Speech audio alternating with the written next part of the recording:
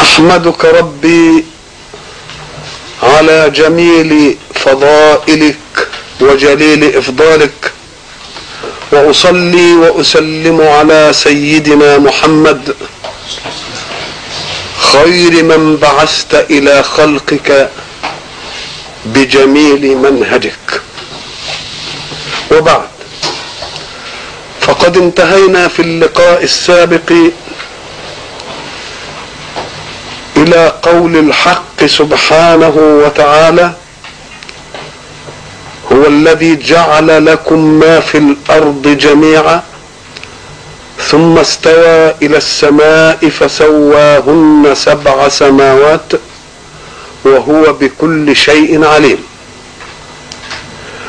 وانتهينا من ذلك كله إلى أن الحق بعد أن تكلم. عما خلق في الكون. أراد أن يتكلم عمن خلقه ليعمر ذلك الكون. فكأن القصة التي بدأ الله بها قصصه القرآني كله في أول سورة ترتيبية في القرآن كانت هي قصة آدم أول الخلق. ويجب أن نعلم أن كلمة قصة قد وردت في القرآن كثيرا. وردت لتدلنا على لماذا جاء الله بالقصة.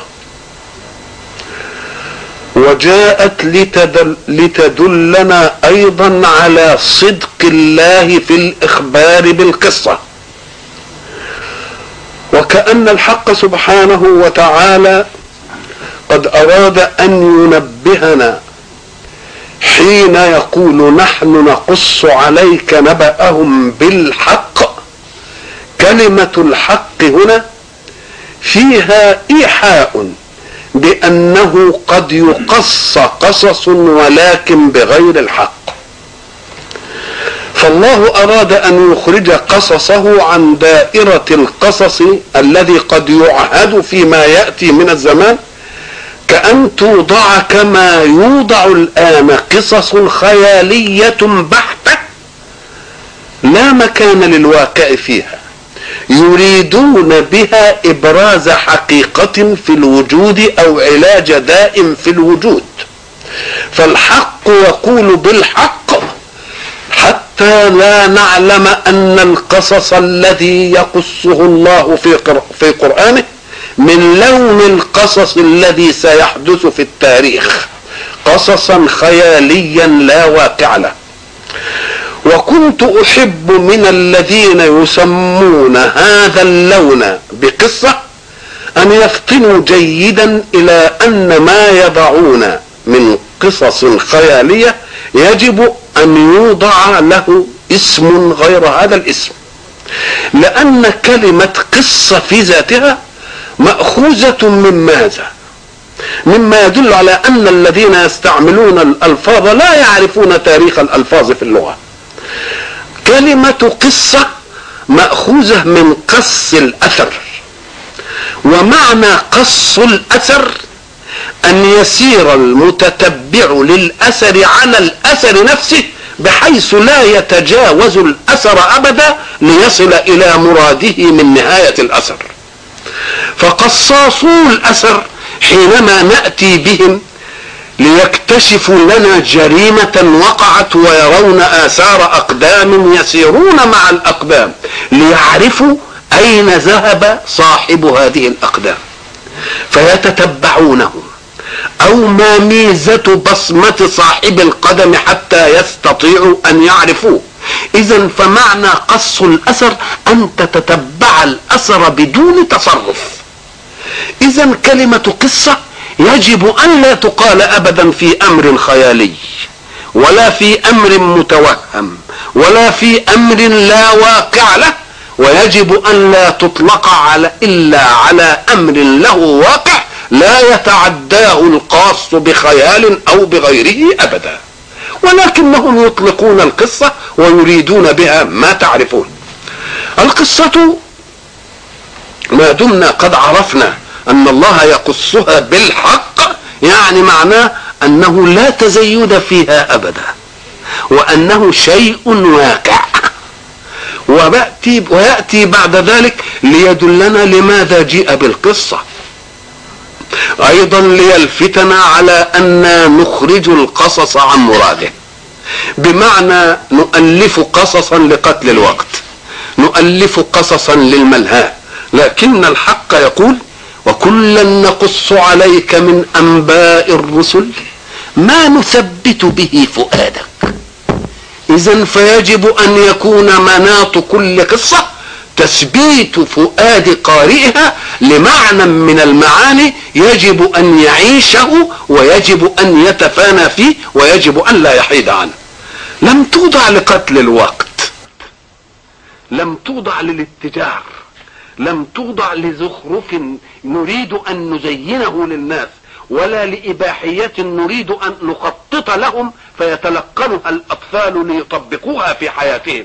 لنثبت به فؤادك أي على منطق ينفع حركة الحياة لا على منطق يضر حركة الحياة. اذا فهي بالحق وهي جاءت لتثبيت الفؤاد.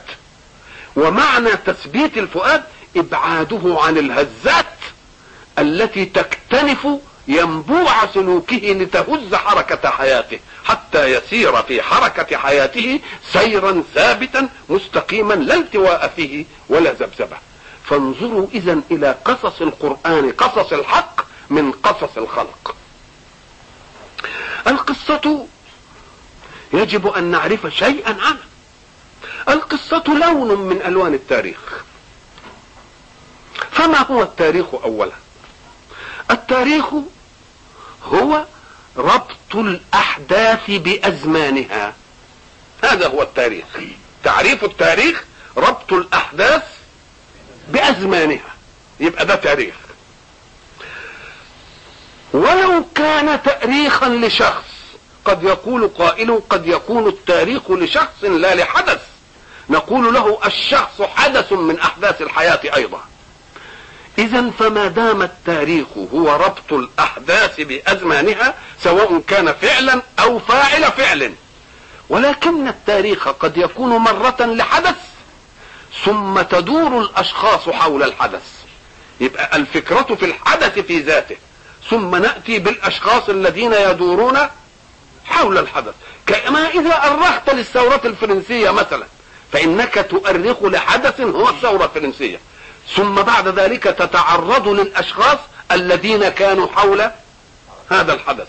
اذا فالحدث يتطلب اشخاصا وقد يكون التاريخ المقصود به الشخص.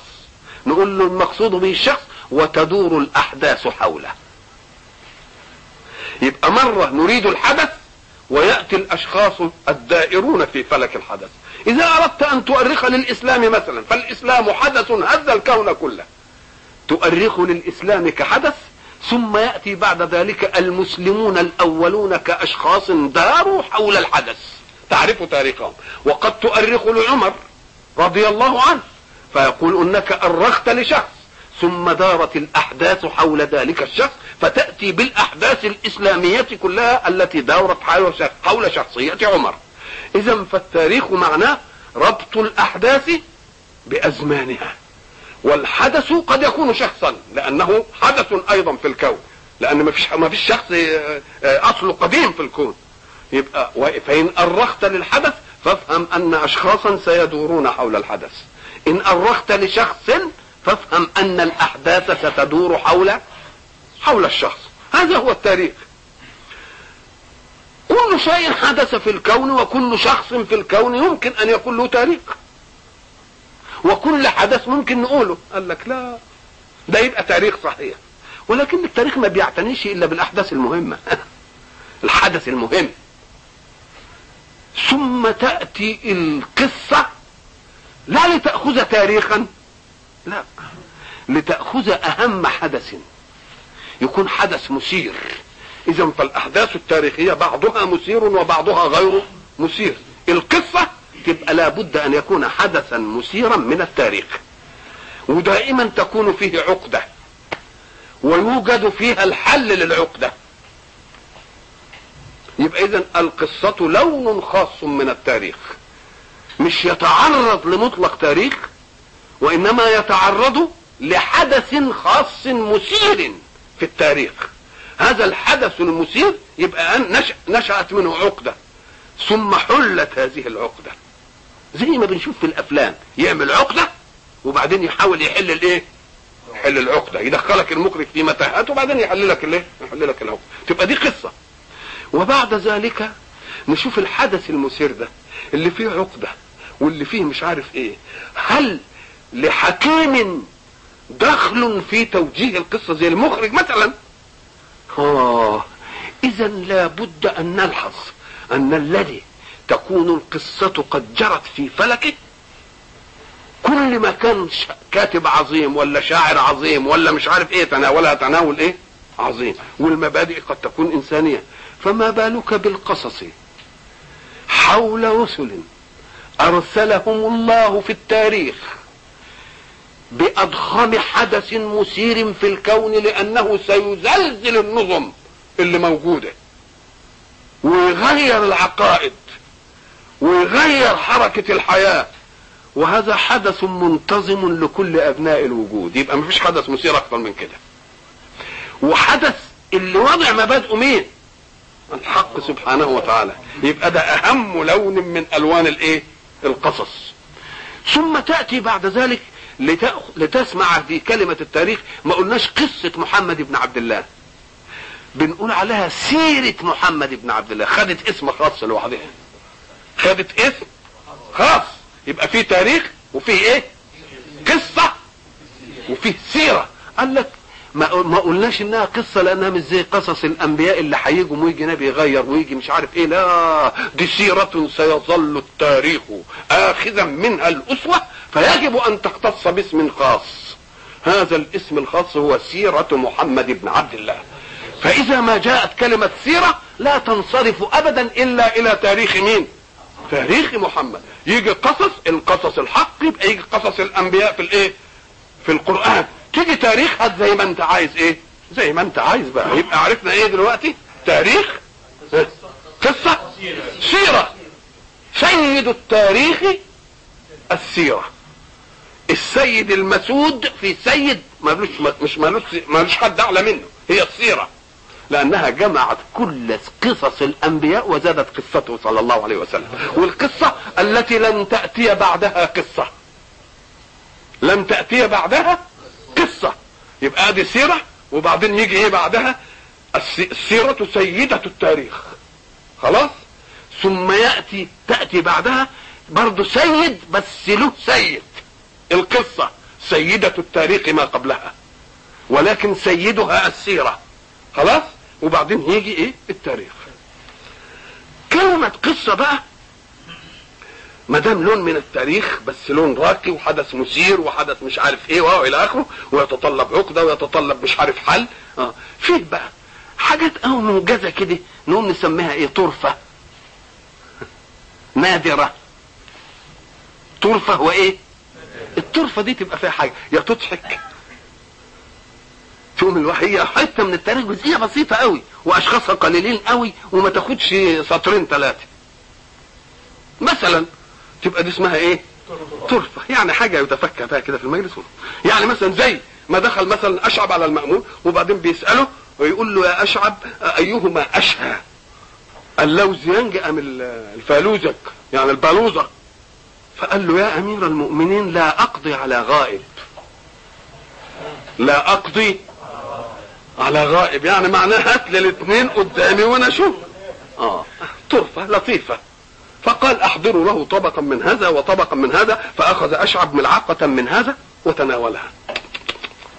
وسكت. وأخذ ملعقة من الثاني وتناولها وبرضه مضغها وسكت. وخد معلقة من الثاني وسكت. وتل... قال له اقضي يا أشعب. قال يا أمير المؤمنين كلما اريت أردت أن أقضي لأحدهما أدلى الآخر بحجته. هذه طرفة هي حتة تاريخ بسيطة كده. مثلا تيجي مثلا كلمة نادرة اللي فيها حكمة مش بس تتفكه بها أنت لا وتكون درسا للغير تكون درسا هي برضه جزئية وأشخاصها قليلين وحاجة بسيطة قوي قوي مثلا يجي وشى واشم بهمام بن عبد الله السلولي إلى زياد بن أبيه وزياد كان باطشا فتاكا.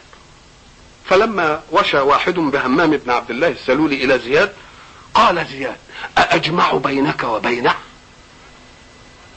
قال للواشي. قال للواشي أأجمع بينك وبينه.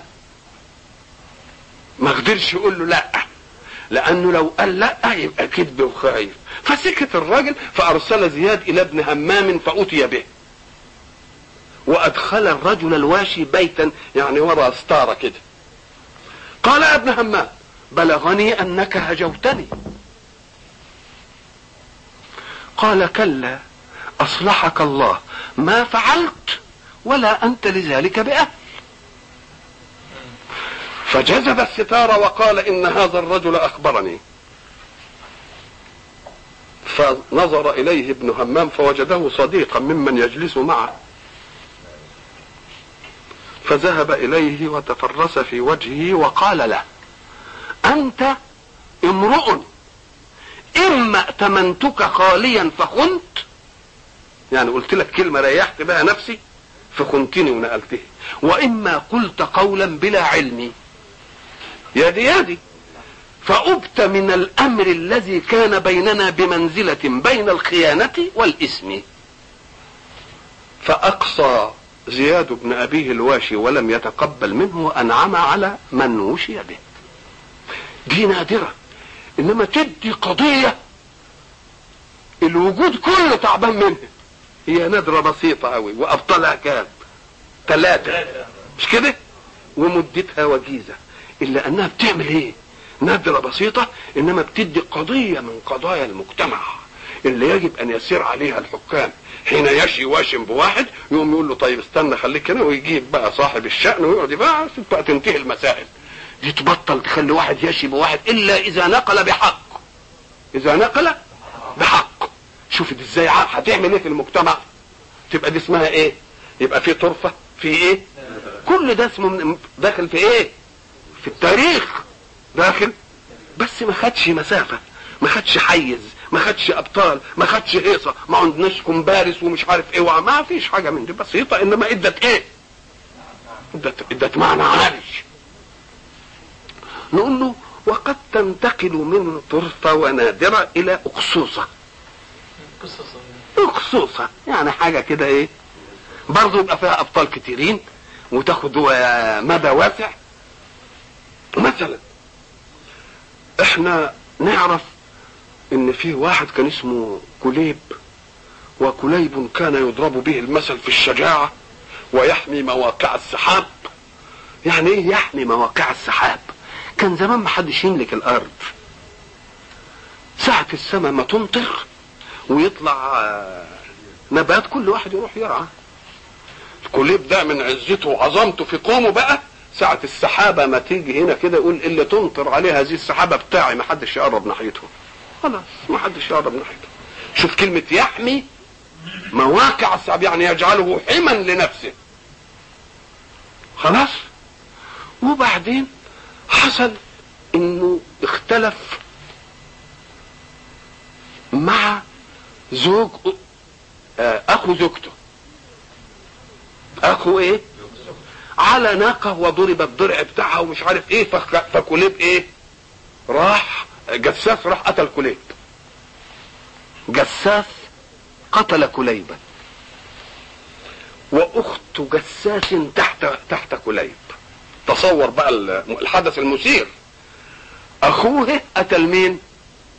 قتل جوزها شوف بقى.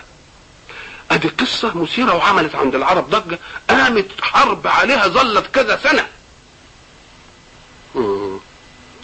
فيجي بقى ياخد الأقصوصة تيجي بقى التاريخ مثلا يروي لنا صاحب الأغاني ولا يقول لنا الأقصوصة. لأن فيها شيء من الإيه؟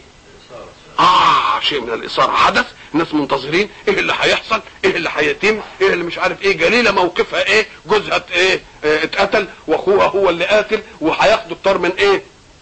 من اخوها مسألة صعبة. فيجي صاحب لما يتكلم بقى يقول لما قتل كليب كليب قتل اجتمع نساء الحي للمأتم. زي عندنا كده. فقلنا لأخت كليب رحلي جليلة عن مأتمنا جليلة اللي هي من؟ مرات كليب. فإن قيامها يعني في المأتم شماتة وعار علينا عند العرب. فالتفتت أخت كليب إلى جليلة وقالت لها يا هذه اخرجي عن مأتمنا شوف أول بقى. فأنت أخت قاتلنا وشقيقة واترنا. فخرجت جليلة تجر أعطافها من الخزي فلما ذهبت بلغها أن أخت كليب قالت رحلة المعتدي وفراق الشامت. ساعة ما خرجت جليلة أخت كليب قالت إيه؟ رحلة المعتدي وفراق الإيه؟ فضحكت وقالت أو تفرح الحرة؟ بهتك سترها وترقب وترها. كلام. كلام له معنى. أو تفرح الحرة بهتك سترها وترقب وترها. هتك سترها في أن جوزها مات. اللي هو سيد من سادات العرب. ومترقبة بقى. إن أخوها رخر يتقتل في الطار أو تفرح الحرة بهتك سترها وترقب وترها. هلا قالت نفرة الحياء وخوف الاعتداء. يعني دي الكلمة اللي كانت تناسب مين؟ تناسب الموقف. شوف كلام كله إيه؟ أهو ده كلام تخاطب كلام عادي عشان تعرفوا كيف كانت لغة الناس على العرب على ألسنتهم في الكلام البديهي كده كلام عادي. فلما ذهبت إلى أبيها مرة رآها وفي المساء في الميتة مش معقول تسيب الميتة من دلوقتي. فقال لها ما وراءك يا جليلة؟ قالت سكن العدد وحزن الأبد وفقد حليل وقتل أخ عن قليل وبين ذين غرس الأحقاد وتفتت الأكباد. طب الكلام. فقال له أو يكف ذلك كرم الصفح وإغلاء الديات؟ يعني يمكن لما يصفحهم ونغلي ديت كليب يسكتوا. قالت أمنية مخدوع ورب الكعبة. أبالبدن تدع لك تغلب دم ربها؟ بالإيه شوية إبل تدع تغلب دم ربها؟ ثم أنشأت تقول قصيدتها المعروفة لما بلغها ما قالته أخته يا ابنة الأقوام إن شئت فلا تعجلي باللوم حتى تسألي. فإذا أنت تبينت الذي يوجب اللوم فلومي واعزلي فعل جساس أخوها على وجدي به قاصم ظهري ومدن أجلي. هدم البيت الذي استحدثته وانسنى في هدم بيت الأول. يا قتيلا قوض الدهر به سقف بيتي جميعا من علي. فأنا قاتلة مقتولة. ولعل الله أن يرتاح لي. يعني ربنا ياخدني وإيه؟ وارتاح. تبقى دي أقصوصة. اسمها إيه؟ فيها أبطال كتير نساء ومأتم ومش عارف إيه وعملية وحدث مثير ومش عارف إيه دي. إيه اقصوصة وبعدين ننتقل إلى الإيه؟ القصة تبقى إيه؟ أطول شوية حق سبحانه وتعالى إدانا برضه حاجة للقصة وحاجة للأقصوصة في سورة الكهف أم حسبت أن أصحاب أم حسبت أن إيه؟ أصحاب الكهف والرقيم كانوا من آياتنا عجبا. إذ أوى الفتية إلى الكهف فقالوا ربنا آتنا من لدنك رحمة وهيئ لنا من أمرنا إيه رشدا فضربنا على آذانهم في الكهف سنين عددا ثم بعثناهم إيه؟ ليتساءلوا إيه؟ لنعلم أيهم إيه؟ أي حزبين أي الحزبين؟ آه. آه. آه. وبعدين قال نحن نقص عليك نبأهم بالحق. فكأن الأولانية دي بس كده يعني خصوصة بسيطة إنما نحن بعد ما قال دي قال إيه؟ نحن نقص عليك نبأهم بالحق وجاب ما يشرح الكل- شوية الكلام. إنهم بقى وقعد يصور القصة إلى إيه؟ إلى آخرة. إذا نظرنا بقى إلى القرآن نجد كما قلنا قصصه بالحق مش خياليات. والقصص القرآني هو اللي محافظ على شرف الكلمة الاستعمال. لأنه قص الآية؟ قص الأثر. قص الإيه؟ قص الأثر. وقال لنثبت به إيه؟ فؤادك. كلمة لنثبت به فؤادك دي. تدينا لماذا تكرر كثير من قصص القرآن؟ يعني قصة تيجي في كم موضع؟ ليه؟ قال لك لأن العلة إيه؟ ما العلة في القصص؟ مش تثبيت الفؤاد؟ ومعنى تثبيت الفؤاد إيه؟ إن الفؤاد عرضة لأن تنزه الأحداث. نقوم إيه نثبته بحاجة. وهل الأحداث التي مرت بالدعوة ومر بها رسول الله كانت حدثا واحدا يحتاج إلى تثبيت واحد؟ ولا كل شوية يحصل يحصل إيه؟ حدث. يوم ينزل له كل شوية يقول له افتكر موسى. كل ما تحصل يقول له افتكر موسى. افتكر موسى. افتكر. ده إحنا لما بنيجي نأرخ لثوره 23 بنسمع بقى لنا 28 سنة تاريخ الثورة. وبرضه نجيب ثورة إيه؟ إنما بنجيب كل مرة إيه؟ حتة زوي حتة شوي حتة إيه؟ وبرضه عمالين بنقول. آه. يبقى ما دام القصص جاء للتثبيت زي ما بنقول برضه عندنا علشان تثبيت المبادئ ومش عارف إيه كذلك قصص القرآن. ما دام جاء للتثبيت والتثبيت يقتضي أن احداثا تهز وجدان اللي يهمه هذه الأحداث يوم لازم يجي كل ما تيجي حاجة يقول له افتكر موسى حصل له كذا. يا يا لوط حصل له كذا. وبعد يجي حدث تاني يصير برضه مش عارف إيه نقول له يا أخي افتكر برضه مصر. بس خدوا بالكم بقى إن مش بيجي الحدث مكرر كما تفهمون من التكرير. بيجي مكرر في جملته عشان يثبت الفؤاد. إنما يروح مدي لقطة مش موجودة الأول. زي ما بنسمع كل سنة سر من أسرار سر 23 مش بيحصل كده دلوقتي؟ يقول لك دي معلومات ما تنشرتش قبل كده. معلومات مش الله. اذا فهيكل الحدث العام يكرر. إنما ما فيه من من خبايا هو اللي إيه هو اللي مثلا أكبر قصة كررت في القرآن قصة موسى. كل ساعة موسى موسى لأنه كان بيعالج قوم وحشين قوي. فلما يجي الحق سبحانه وتعالى في كل مناسبة يروح إيه؟ جايب لقطة. بس اللقطة تدي أنت تظن إنه بيكرر قصة موسى. إنما هو برضه بيكررها بس بيكرر القصة للحم اللقطة التي يريدها. للحم اللقطة؟ يعني مثلا يجي مثلا يقول لك إيه مثلا وأوحينا إلى أم موسى أن أرضعيه. فإذا خفت عليه فألقيه في اليم. ولا تخافي ولا تحزني. إنا رادوه إليك وجاعلوه إيه؟ من المرسلين. وبعدين يقول إذ أوحينا إلى أمك ما يوحى أن اقذفيه في التابوت فاقذفيه في اليم فليلقيه اليم بالساحل يأخذه عدو لي وعدو له. واحد سطحي يظن إن ده تكرار. قل له يا أخي افهم مش تكرار. دي لقطات من حدث. إذا اجتمعت مع بعضها تتكون القصة. لأني لما تفهم وأوحينا إلى أم موسى أن أرضعيه فإذا خفت عليه يدل على أنه يعدها الإعداد للحدث قبل أن يقع الحدث. بدليل فإذا خفت عليه فألقيه إيه؟ في اليم ولا تخافي ولا تحزني. إنما ساعة ما جه الحدث نفسه ولذلك تجد السرعة في الثانية. ساعة ما جه الحدث يقول إيه؟ يلا زي ما قلت لك ألقيه في اليم ولا تخاف قلنا أنا ألقيت أوامري. آه إذ أوحينا إلى أمك ما يوحى أن اقذفيه في التابوت فاقذفيه باليم فليلقيه اليم بالساحل ياخذه كلام إيه؟ اكن ده ساعة الإيه؟ ساعة الحادثة. إنما دوك إعداد للحادثة حين تقع. فده يبقى شيء. وده شيء. أنت يخيل لك انه مكرر. نقول له لا افهم المعطيات القرآنية تجد إن ده له وقت وهذا له إيه؟ ولذلك كان لذلك أسلوب الرتابة للأمر يعد له. ودي اسلوب الإيه؟ السرعة. وإذا أوحينا إلى أمك ما قالش إيه؟ ما يوحى. أوحينا إلى أنا قلت له اللي قلته له. آه يبقى معناه إنه إيه؟ الوقت إيه؟ ضيق. اذ أوحينا إلى أمك ما يوحى أن اقذفيه في التابوت فاقذفيه في اليم فليلقيه اليم في يأخذه.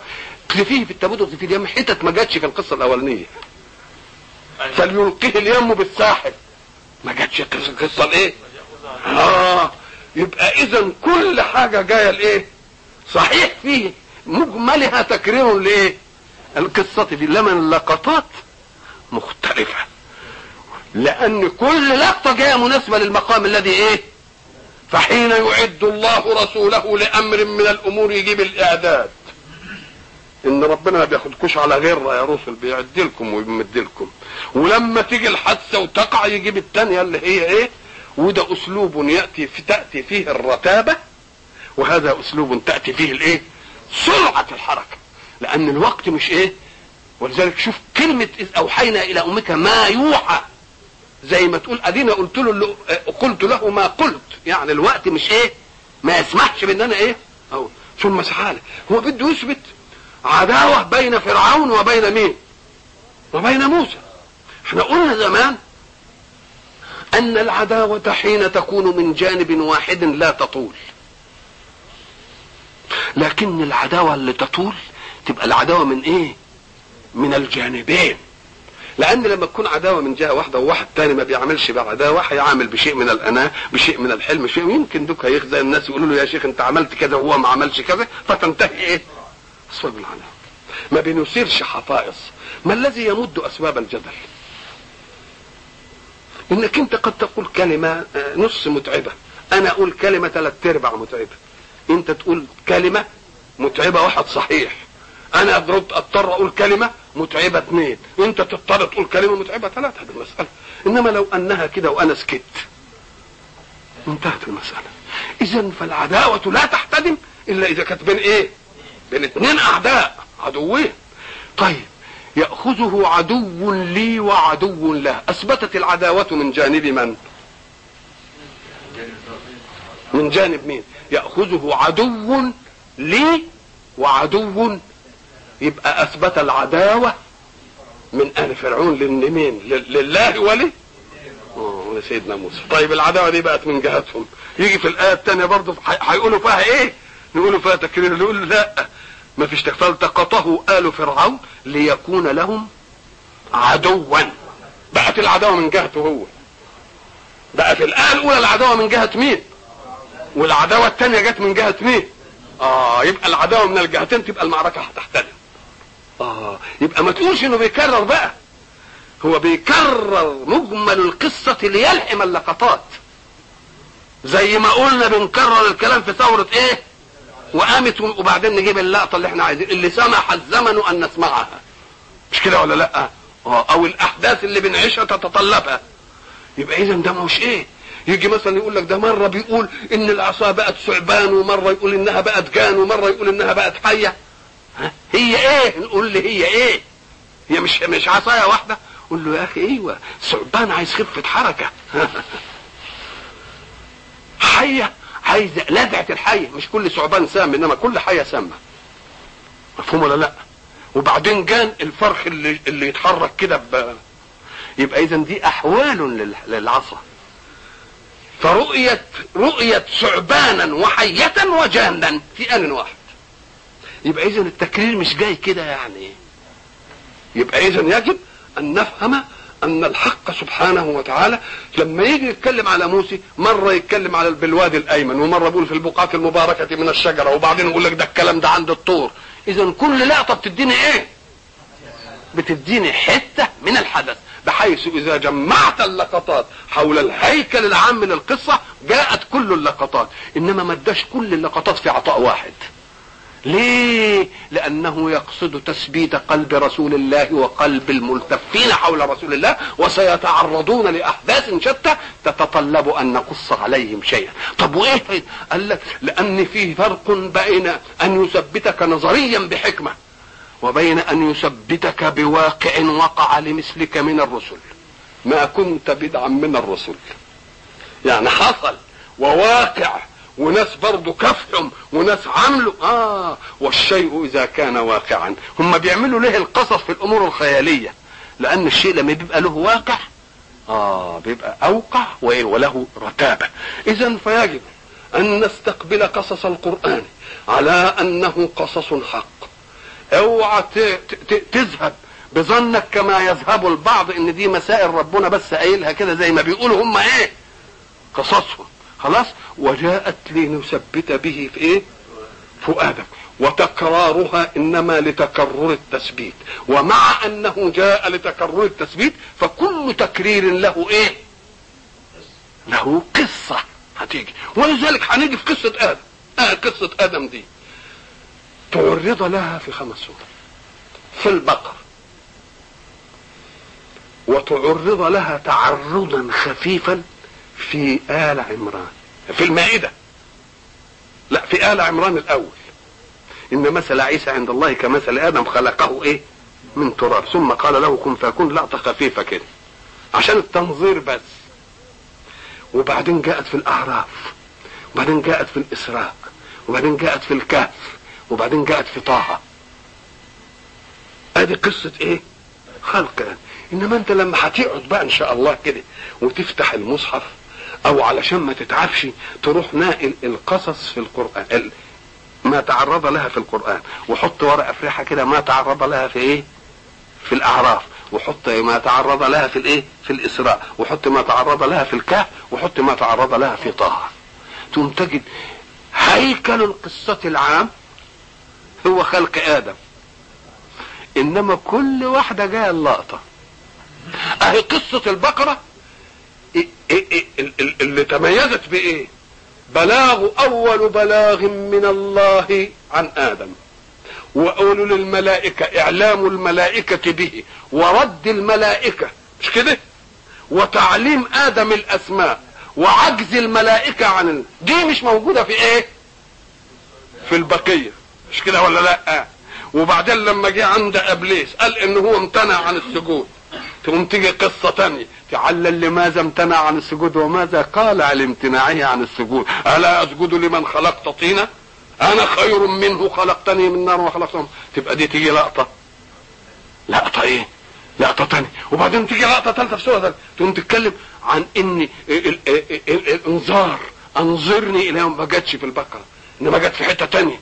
وبعدين الحوار بتاعه في أنه سي- سيغوي كل كل بني آدم. ومنهجه في الاغواء جه ولا جاش. إيه الله في حتة تانية وبعدين حتة ثالثه تتعرض ل- ل- لجنسيته. جنسيته ما جاتش إلا في سورة الكهف. يعني سورة الكهف بس جاية عشان تثبت إيه؟ هوية إبليس. من إيه لأنه لما في الآية تفهم إنه من الملائكة بدليل أنه إيه؟ أخذ على امتناعه من السجود. وام ضج ويقول لك كيف يكون ملكا والملك لا يعصي الله ما أمره ويفعل إيه؟ ما يؤمر به وازاي يعصى وده مش منطق وده مش عارف ليه. فإن لم يكن ملكا إزاي دخل في الأمر وعوقب على أنه الايه لم يسجد. وبعدين تيجي قصة الكهف تروح إيه؟ الكلام في الكهف. يقوم حاسم الموقف. يقول إيه؟ وإذ قلنا الملائكة اسجدوا لآدم فسجدوا إلا إبليس. إيه كان من الجن ففسق عن أمر ربه. ما كانتش في أي لقطه من اللقطات اللي فاتت يبقى هنا أثبتت هوية مين؟ هوية إبليس. الله منهج الإغواء. ما جاش إلا إحنا. قال له أنظرني إلى يبعثون لأغوينهم إيه؟ أجمعين. إلا عبادك منهم الإيه؟ المخلصين. وبعدين لآتينهم من بين أيديهم. منهجه في الإغواء. ما جاش إلا هنا. الله. يبقى اذا كل قصة يبقى تكررت قصة آدم في هذه الصور تكررت في مجموعها العام. في مجموعها؟ كقصة آدم. إلا أنه لم يتكلم عن مادة الخلق في الصور. وبعدين هيقول خلقت من طين. إنما في حتة تانية قال بس كده. مش كده؟ بس قال فإذا سويته ونفخت فيه من روحي قال سويته ما بس كلام. أي حاجة تخلقه من إيه؟ عرفناها من إيه؟ أسجد لمن خلقت إيه؟ طينا. مش كده ولا لا؟ و... اذا فكل قصة من القصص المذكورة في القرآن إيه؟ لها إيه؟ لها لقطة لا توجد في القصص الأخرى. ولم يرد الله أن يجعلها في قصة واحدة لأن الله لا يريد سرد تاريخ. وإنما يريد من القصة تثبيت الفؤاد. وتثبيت الفؤاد لرسول جاء على فترة من الرسل في قوم ضالين عن منهج الله يحتاج كل مرة إلى أن نذكره بكيف خلق الناس ومن خلقهم. بدليل أنها علقت بذهن رسول الله صلى الله عليه وسلم وقالها في حجة الوداع اللي في آخر حاجة عهده بالأمة. قال كلكم لآدم وآدم من تراب. فيريد الله بتكرير القصة أن يسجل هذه المسألة ويريد الله بتكرير القصة أن يذكرنا دائما بعداوة إيه؟ الشيطان وعداوة إبليس إيه؟ لنا علشان نفضل لأن المنهج كله كده. المنهج إيه؟ رسالة من السماء بفعل ولا إيه؟ ولا تفعل وشيطان يغوي وأناس تستقبل إغواء الشيطان. أسأل الله سبحانه وتعالى أن يوفقنا إلى لقاء آخر نتم فيه ما بدأنا من قصة آدم وإلى اللقاء إن شاء الله.